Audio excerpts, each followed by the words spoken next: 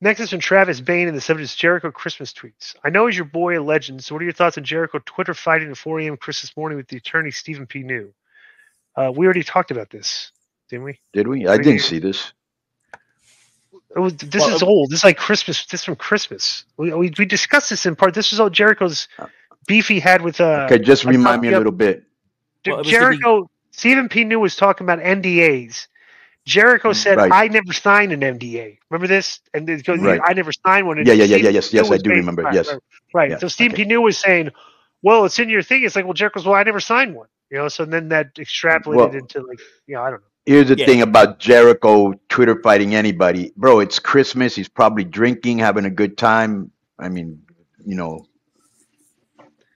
And it's, it's 4 a.m. So I was wondering, I was wondering if he had been to bed yet or if he's woke up.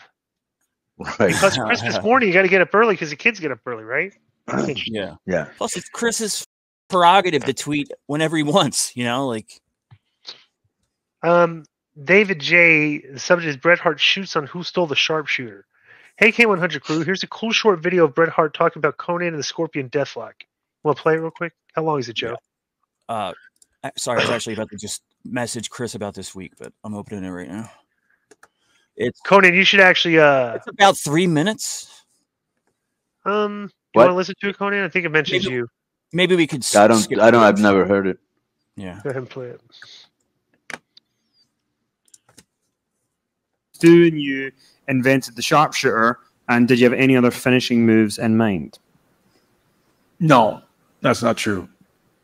Um, the the truth is, is that I learned the sharpshooter from Konnan, um, WCW wrestler who was in WWE at the time.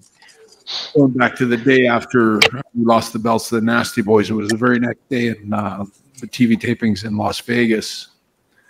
And Vincent, Vincent Pat Patterson pulled me in the room. That was that same conversation about uh, me me getting the big push and all that. And then they had me want me to work with Curt, and I refused. I said I'm not doing it. I'll, I'll quit and go home where I wrestled Curt. And somehow once we got kind of get that resolved, they said, we want you to have a come up with a new hold, some kind of a submission hold.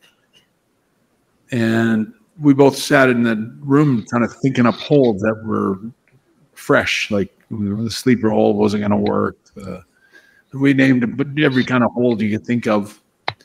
And I think um, I suggested the Scorpion um, move that Sting did because I'd seen it in Japan. It wasn't I wasn't necessarily stealing it from Sting, but I I didn't know how to put it on either. I remember Vince goes, "Let's let's use that uh, the Scorpion thing," and uh, he goes, "Go figure out how to put it on and how it works." And I so I remember when after I walked out of the room, I went looking for. Um, somebody like I remember asking different wrestlers, I'm going, do you know how to put on the Scorpion Deathlock? And it's like, no, nobody.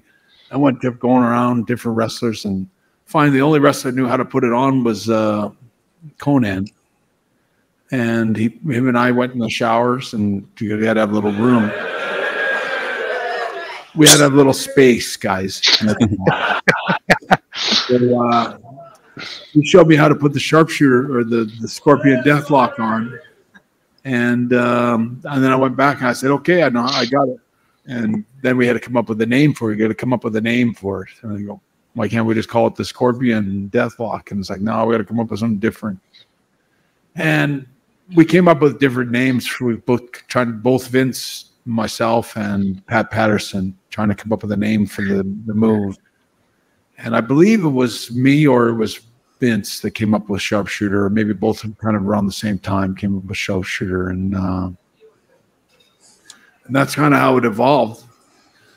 um, and you know, I always, I always love that Konnan always tells me, he goes, you know, you're the only guy that ever told the truth about the because people ask me and I, I tell the truth. Konnan showed me in two minutes in the shower how to put a sharpshooter on in the shower, boys and uh, and it was uh, wasn't any kind of a big big deal to me, but he, he just appreciated the fact that I don't didn't lie to you now and tell a big story about how I learned it from my dad in the basement, and then you know I I we perfected it or something like that. I mean, it's easy to make up a big story, but the truth is, I learned from Konnan.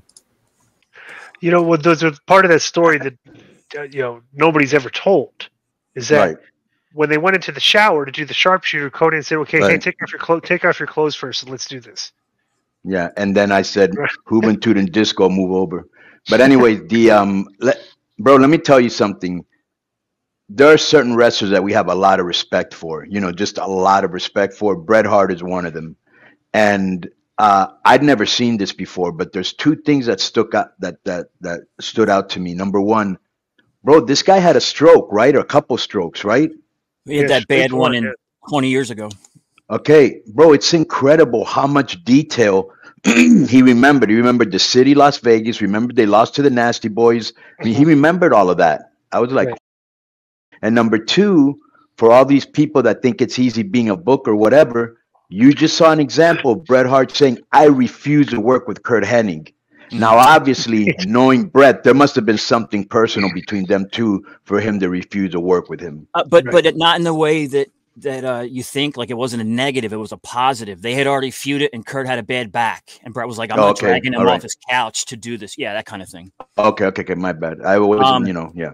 No, it's all good. Did, is there another one, Konnan? I can't remember specifically, but in Bret's book, he said he needed a, a good roll up finish for him and Owen. And what's the one where you we sit on the guy's shoulders and then you roll? The him tequila forward? sunrise. Tequila no, sunrise, right? No. They call it the victory roll, but you call it luchadors. would call- Did you teach him Yeah. that, or, or did you recommend that to him? I don't think so. Yeah. Okay. I thought Next is said from J- next from JL1019 GTA, and the subject is Roman Reigns leukemia. Hey, Keep It 100 crew, been listening to this podcast for over a whole year. My opinion, is the best podcast. My question is this: People are Wrestling Marks say Roman's leukemia is a work storyline to get Roman over. What would you say to Wrestling Marks who can't not see who can't see not everyone and everything is a storyline? The Wrestling Marks need a Superman punch for the lack of respect. Thanks, you keep it real. Uh, uh, well, why would that be a um, my question is this: People or wrestling marks say Roman's leukemia is a work storyline to get Roman over. That's not a question, so let's suspend the guy for for a uh, for a week. Yellow card him for that because that was not a question. What would you I say to wrestling marks? You can't see not everyone and everything is a storyline. Okay, that's a question, I guess. Um, I don't know, bro. If if, if, if they, all think it's a storyline, then then you know, what, are you how are you going to argue with people like that? You know, Yeah. The only thing I would say about that, Glenn, is that anything's possible. It's actually not a bad idea, but there are other ways to get them over with doing something so tasteless. You know what I'm saying? mm-hmm.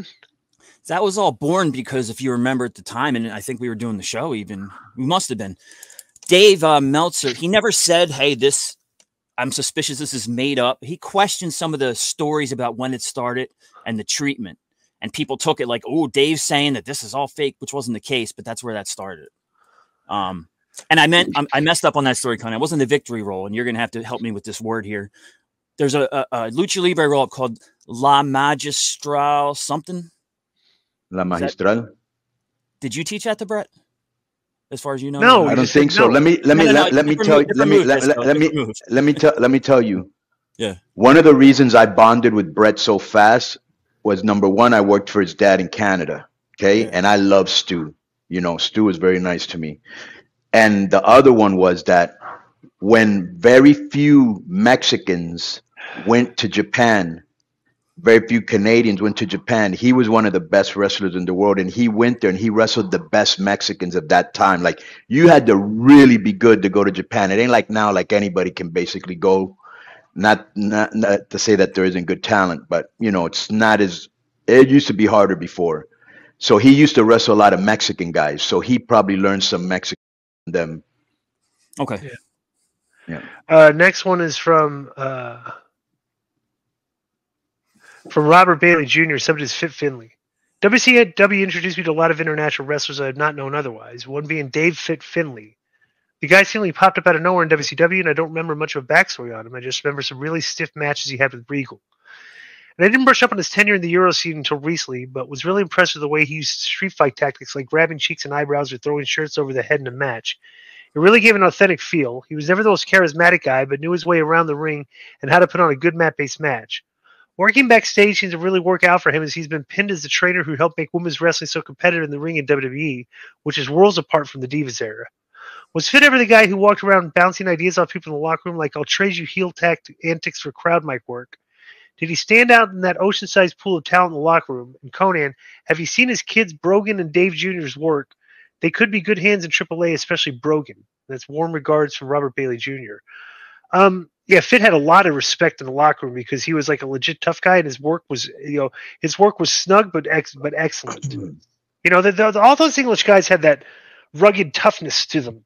You know, that that, that style that was uh, st- stood out. It's like you know they had they had a very unique style of work, and they could make you look really bad in there. And, and let me tell you, and let me tell you, this is when I knew, uh, when I knew how fit Finlay was. So back in the day, I used to collect tapes, you know, from like Mid South and Japan and all that, because I especially love Japan wrestling, right? And then I would give them to Eddie, and I'd give him the Black Magic, and we'd check them out and all that, right? And so I used to used to love to do a lot of Japanese spots with Eddie when I first started, and he comes back from one of his New Japan tours, and he goes, "Bro, there's this guy. He's from Ireland. His name is Fit Finlay." And I go, "Yeah." And and Eddie very rarely put anybody over, and he goes, "He's the real deal, bro." You know, he almost broke me in half. He goes, "He's the real deal." So I don't know if they almost shot or they just I don't know, but you know. And then I I knew when he showed up in W, and you could just tell by looking at him. He's like a hardened, Right. grizzled old Irish guy that you know, you know that'll bite at the drop of a dime. like, like the type of guy in the Irish pub will, will, will knock your teeth out. Your Right, you know? right, You know? um, Do you know anything about his sons? Have you seen them, Konnan? No, I haven't seen No, any of their I work. not. And I will say No, no. this: uh, he was a guy, bro. We put him on the uh, when- when uh, with Terry and stuff. He was on the we put him on the booking committee for a while in WCW. Oh, I didn't know that. When Yeah, he was you injured, right? Yeah, yeah, No. he was hurt, so we put him on the committee. Remember- yeah, you had that Remember- table spot that, that, that screwed screwed him up. Remember, you got busted open on the table. The, the, Yeah. the- uh, yeah, yeah. Yeah. So I felt He really went- bad for him. Yeah. He went through a table in the corner and it broke weird and it just sliced like his calf. All people that don't know.